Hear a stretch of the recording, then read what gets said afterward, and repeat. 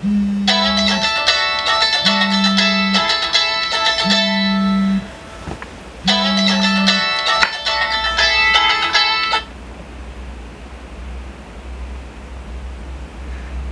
es ist 6 Uhr morgens.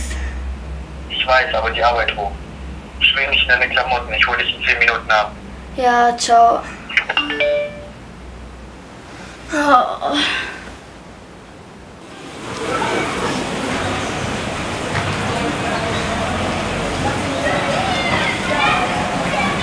Hey Chris, was ist hier passiert? Das Mädchen ist zwischen 14 und 18 Jahren alt. Es muss einen Kampf gegeben haben, das sieht man hier an den Schürfungen am Arm. Des Weiteren ähm, wurde sie von einem spitzen Gegenstand, höchstwahrscheinlich ein Messer, in den Bauch gestochen. Sie war wahrscheinlich auch sofort tot. Wer ist sie? Hat sie einen Ausweis oder irgendwas anderes, damit wir sie identifizieren können? Nein, wir, bislang haben wir noch nichts gefunden. Chef, das haben wir im Gebüsch gefunden. Das könnte die Tatwaffe sein. Kannst du uns schon etwas über ihren Todeszeitpunkt sagen? Sie ist seit ungefähr zwei Tagen tot. Okay, komm, lass uns ins Büro fahren. Vielleicht wurde sie als vermisst gemeldet. Ich melde mich dann bei euch, wenn ich nach der Option mehr weiß. Ja.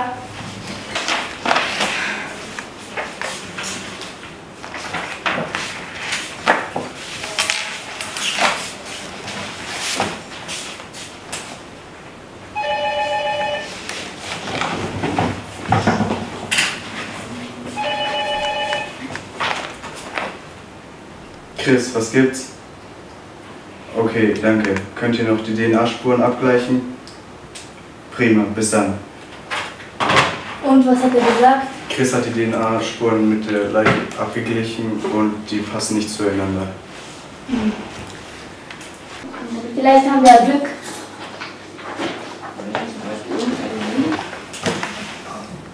Das könnte passen. Sag mal. Ja, das ist sie. Taylor Adams, 16 Jahre alt. Ihre Mutter hat sie vor zwei Tagen als vermisst gemeldet. Auch das würde passen. Ich hasse die Situation, wenn man den Eltern sagen muss, dass ihr Kind tot ist.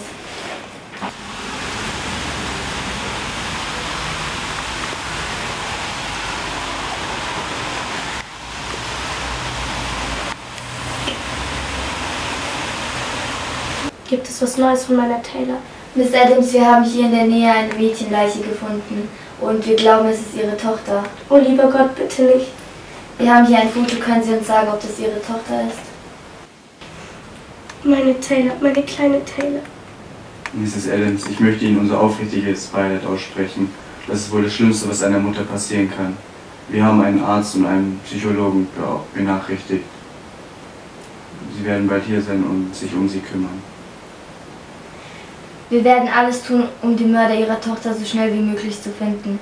Wissen Sie vielleicht, mit wem Taylor befreundet war oder ob sie mit irgendjemandem Streit hatte?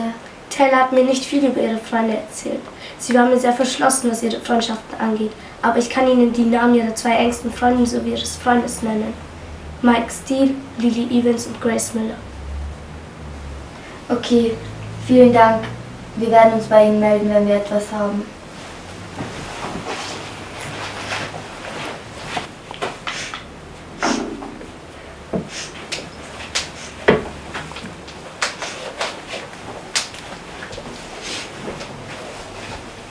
Ja, es wird wieder gut.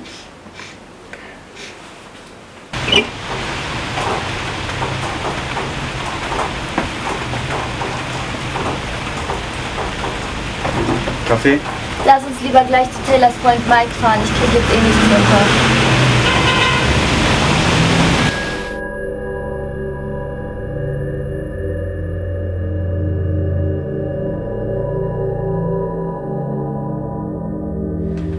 Also Mike, wir wollen den Täter so schnell wie möglich hinter Gitter bringen.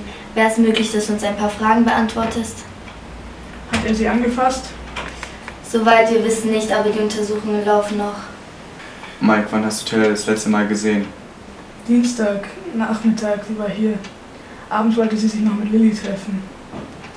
Ihrer besten Freundin. Hat sie sich irgendwie anders verhalten? War sie anders als sonst? Nee, sie war so wie immer. Also ganz normal halt. Wir haben uns für Mittwoch verabredet, aber ich kann nicht glauben, dass ich sie nie wiedersehen werde. Weißt du, ob sie mit irgendjemandem Streit hatte oder wer das angetan haben könnte? Nee, sie war ziemlich beliebt und sie wurde sehr bewundert. Ich, wus ich wüsste echt nicht, mit wem sie Streit gehabt hätte. Danke, Mike. Ruh dich etwas aus. Mike hat mir schon erzählt, was passiert ist. Warum Taylor? Wer tut sowas? Wann hast du Taylor das letzte Mal gesehen? Am Dienstag in der Schule. Lilly, weißt du, mit wem Taylor Streit hatte oder wer ihr das angetan hat? Eigentlich nicht, wissen Sie, sie war meine beste Freundin, sie hat mir alles erzählt. Hat sich Taylor irgendwie anders verhalten oder mit jemandem getroffen? Eigentlich nicht, wie sie war wie immer. Okay, ruh dich ein wenig aus und danke für deine Antworten. Komm, Luke, wir gehen.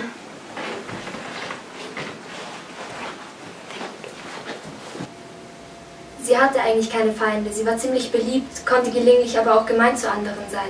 Und um ihren Freund Mike haben sie sehr viele Mädchen beneidet. Wie meinst du das? Grace, du weißt doch mehr, als du uns sagst. Wer könnte Taylor so sehr gehasst haben, dass er ihren Tod wollte? Sag es uns. Bitte, Grace. Naja, ich möchte ungern meine beste Freundin damit reinziehen, aber sie ist ziemlich verliebt in Mike und Wer? Lilly, sie hat mir gegenüber einmal erwähnt, sie wünschte sich, Taylor wäre nicht mehr da. Dann hätte sie Mike für sich ganz allein. Aber ich kann mir nicht vorstellen, dass sie Taylor wirklich etwas antun würde. Danke für deine Antworten, Grace. Das war's fürs Erste. Das macht Lilly doch ziemlich verdächtig. Das kann ich mir nicht vorstellen. Die Tat mit einem Messer passt nicht zu einer Frau. Frauen handeln anders, sie vergiften oder planen Intrigen. Trotzdem, lass uns noch mal zu Lilly fahren. Sie verheimlicht uns etwas.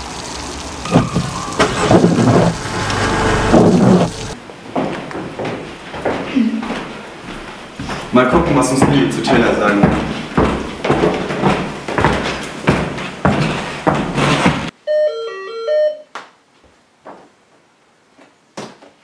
Was machen Sie denn hier? Lilly, stimmt es, dass du Mike verliebt bist? Hä, wer hat Ihnen das erzählt? Wir stellen hier die Fragen. Ja, und wenn schon, werde ich jetzt etwa verdächtig, dass ich sie umgebracht hätte? Zumindest hast du ein Motiv. Ja, aber sie war meine beste Freundin, sowas hätte ich niemals getan. Gut, wir haben zunächst keine weiteren Fragen an dich. Ich glaube, sie könnte durchaus was damit zu tun haben, ihr Frauen und eure Eifersucht. Ich glaube es trotzdem nicht. Das passt einfach nicht, auch wenn sie ein Motiv hat. Lass uns noch mal zur Schule fahren. Vielleicht können uns Taylors Mitschüler weiterhelfen.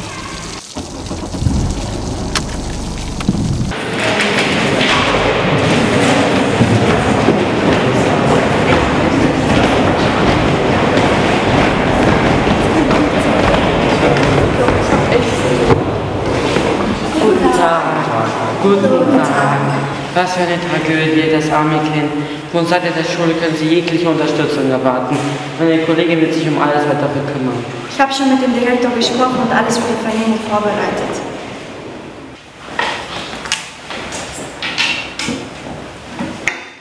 Hallo, mein Name ist Diana White und das ist mein Partner Luke Blake.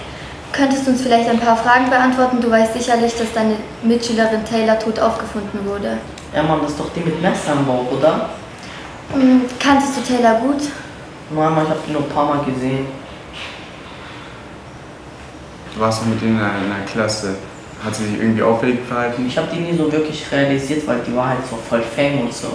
Das hilft uns auch nicht weiter. Du kannst gehen, Alter. Kanntest du Taylor gut? Nee, ich habe sie nur ein paar Mal im Unterricht gesehen. Ähm, weißt du, ob sie mit irgendjemandem Streit hatte oder Weiß ich nicht, ich habe sie nicht oft gesehen. War sie nett zu den anderen Schülern? Sie war ziemlich zickig, ist meiner Meinung nach. Okay. Danke, du kannst jetzt gehen.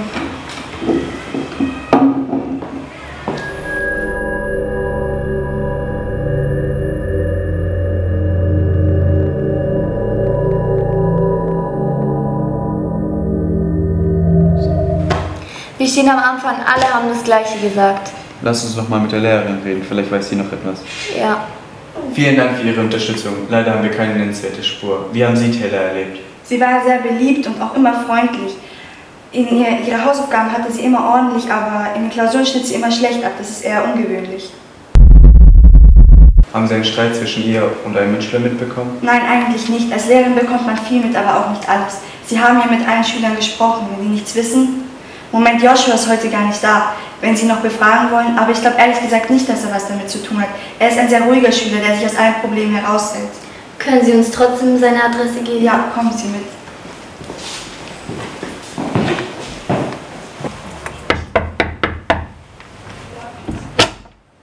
Hallo?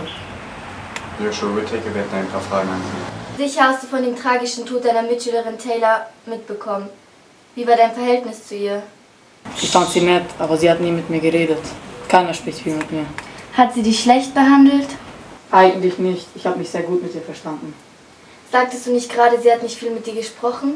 Ja, schon, wenn wir gesprochen haben, war sie nett. Wenn wir alleine waren, war sie freundlich zu mir. Wart ihr oft alleine? Nicht so oft, nur wenn ich ihr die Hausaufgaben übergeben habe und ich die Belohnung bekommen habe. Deine Belohnung? Am Anfang war es ein Kuss auf die Wange, dann ein Kinobesuch und später sogar ein kurzer Kuss auf den Mund. Sie sagte, sie habe mich nur ausgenutzt und dass sie so einen Spasten wie mich nicht anfassen würde. Ihr wurde so wütend. Ihr wollte ihr doch nur einen Denkzettel verpassen. Und dann? Sie wollte einfach durchs Fenster abbauen. Ich, ich konnte sie nicht gehen lassen, denn ich hatte meine Belohnung nicht bekommen. Sie hat sich gewehrt und dann ist es einfach passiert. Ich wollte sie nicht umbringen, es war ein Unfall. Joshua Whittaker, du bist hiermit festgenommen.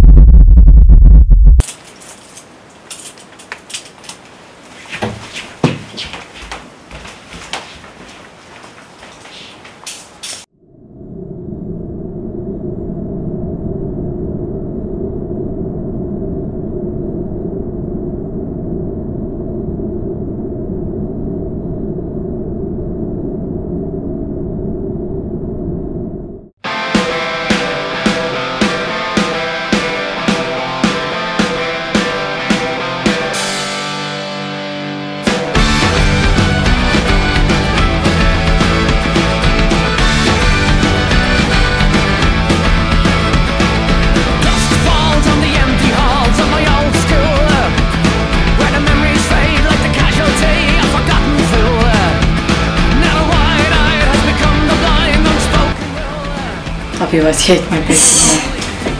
Schlimmste, was einer Mutter passieren kann. Wir haben einen Arzt und einen Psychopathen. Okay, danke.